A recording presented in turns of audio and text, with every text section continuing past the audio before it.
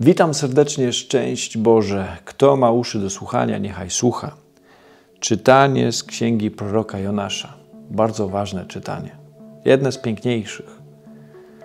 Chociaż wszystkie są piękne, ale to czytanie jest takie głębokie. Przynajmniej dzisiaj dla mnie, może dla Ciebie też. Więc dobra, już je przytrzymuję, czytam. Pan skierował do Jonasza, syna Amitaja, te słowa. Wstań, idź do Niniwy, wielkiego miasta i upomnij ją, albowiem nieprawość jej dotarła przed moje oblicze. A Jonasz wstał, aby uciec do Tarsisz przed Panem. Zszedł do Jafy, znalazł okręt płynący do Tarsisz, uiścił należną opłatę i wsiadł na niego, by udać się nim do Tarsisz, daleko od Pana. Zobaczcie, człowiek, Boży człowiek, prorok pański ucieka przed powołaniem. Jeśli on może uciekać przed powołaniem, to my też. Chociaż wszyscy jesteśmy prorokami, bo jesteśmy zanurzeni y, przez chrzest w Panu. On ucieka. I czy to ma jakieś konsekwencje? No pewnie i to wielkie. To, że Jonasz nie wypełnia swojego powołania, jest y, skutkuje wielkim, wielkimi nieszczęściami nie tylko dla niego, ale także dla tych, którzy są w pobliżu w ogóle Jonasza. Tam, gdzie jest Jonasz, tam są problemy. Jonasz przynosi problemy, przynosi pecha, bo nie wypełnia woli Bożej. Czy wypełniasz wolę Bożą? Czy robisz dokładnie to, co On chce? Ktoś może powiedzieć, jak mogę wiedzieć, czego chce Bóg, skoro Go nie słyszę? Jonasz słyszał Boga. Słyszał i nie zrobił tego, co Bóg chciał, i z tego powodu nie tylko on cierpiał, bo dalej czytamy, że Pan zesłał morze, na morze gwałtowny wicher, gwałtowny wiatr. I nastała wielka burza na morzu. Także okrętowi groziło rozbicie. Przerazili się więc żeglarze i każdy wołał do swego bóstwa. Wyrzucili do morza ładunek, czyli stracili ładunek, z którym płynęli przez Jonasza, który był na okręcie by uczynić go lżejszym. Jonasz zaś zszedł w głąb wnętrza okrętu, położył się i twardo zasnął, tak jakby go to nic nie interesowało, co się dzieje powyżej. Ludzie tam po prostu wariują, wyrywają włosy z głowy, bo widzą potęgę morza, nie wiedzą o co chodzi, yy, boją się, za chwilę stracą życie, a go to nie obchodzi. On ma swój plan. On ucieka jeszcze głębiej, pod, pod pokład. W ogóle się nie modli, a mógłby się pomodlić. Boże, przestań, dobra, zrobię co chcesz. Nie, nie nawet się nie modli. Po prostu ma swój plan, ale ten plan nie jest planem Bożym. No i co się dalej dzieje? Ludzie go budzą. Dlaczego ty śpisz? Wstań, wołaj do twojego Boga. Może przypomni sobie Bóg o nas? Nie zginiemy i nie zginiemy. Ale on się nie modli. Chodźcie, rzućmy losy, a dowiemy się, z czyjego powodu nieszczęście spadło na nas, mówili jeden do drugiego. No i los padł na Jonasza. Powiedz nam, z jakiego powodu ta klęska przyszła na nas? Jaki jest Twój zawód, skąd pochodzisz, jaki jest Twój kraj, z jakiego jesteś narodu? A on im odpowiedział: Jestem Hebrajczykiem i czczę Pana, Boga nieba, który stworzył morze i ląd.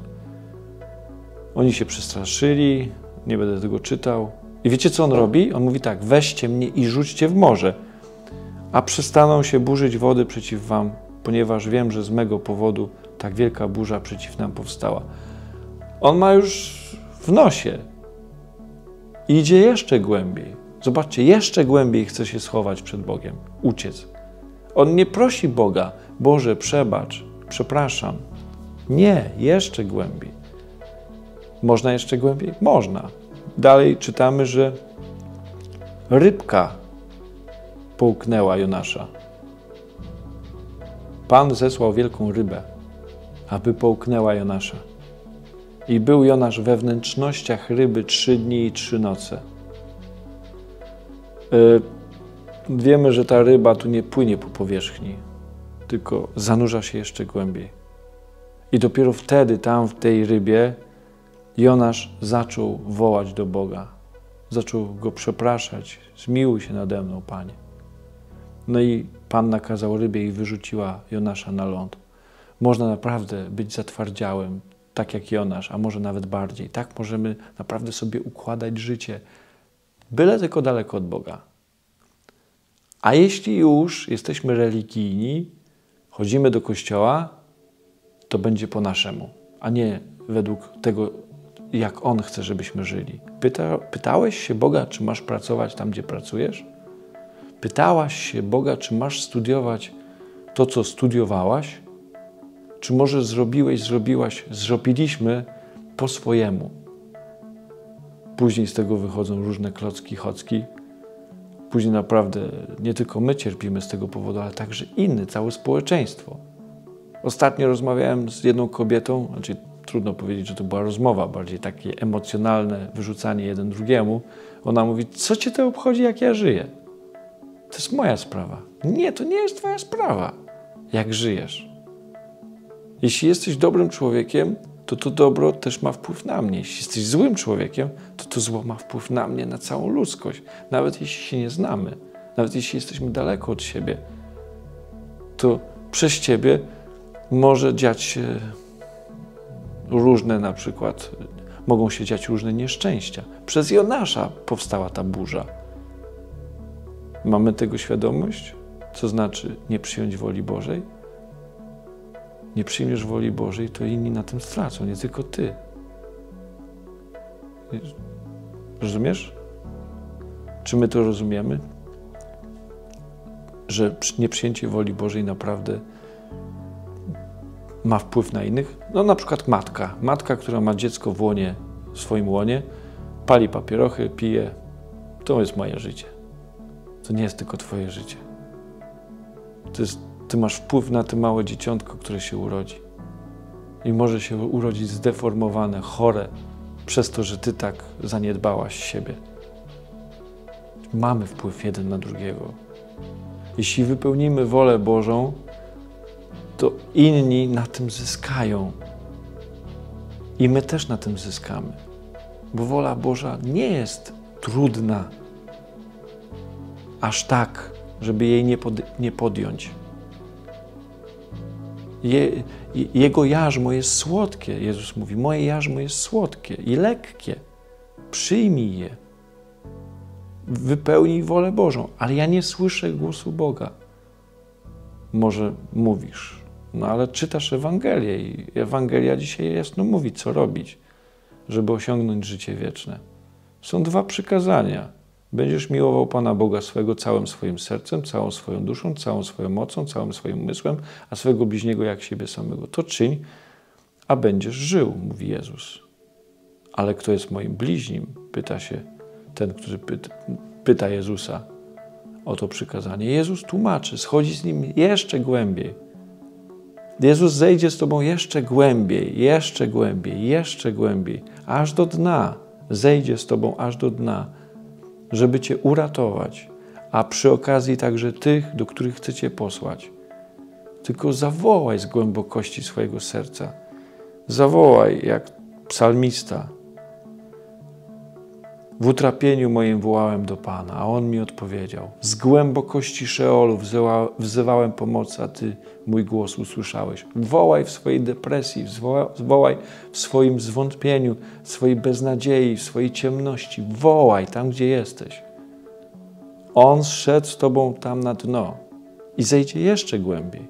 Nawet do Szeolu zejdzie z Tobą, do otchłani. Nawet do, do piekła zejdzie z Tobą, bo szedł do piekieł. Po swojej śmierci i zmartwychwstaniu jest szedł do piekieł, żeby wyciągnąć tych, którzy oczekiwali Go, a nie mogli wejść, bo nie byli usprawiedliwieni, bo nie, bo nie doświadczyli jeszcze owoców odkupienia. Jezus, Jezus potrafi zejść do piekieł, żeby Cię wyciągnąć. Tylko wołaj w tym piekle, w którym jesteś teraz. Wołaj. Dopóki masz czas, wołaj, ratuj mnie, Jezu. Przepraszam Cię, że zniszczyłem swoje życie, że zniszczyłem życie innym. Uratuj mnie i innych. I Jezus uratuje, bo jest tym Samarytaninem, który wędrując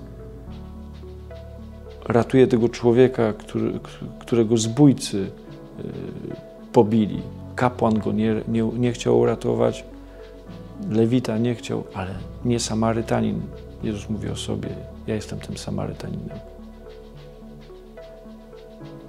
Zepsułeś, zepsułaś swoje życie albo innym życie? Wołaj. Wołaj z tego piekła, w którym jesteś. On cię usłyszy i poda ci rękę i zapłaci nawet za ciebie. Zapłaci najwyższą cenę.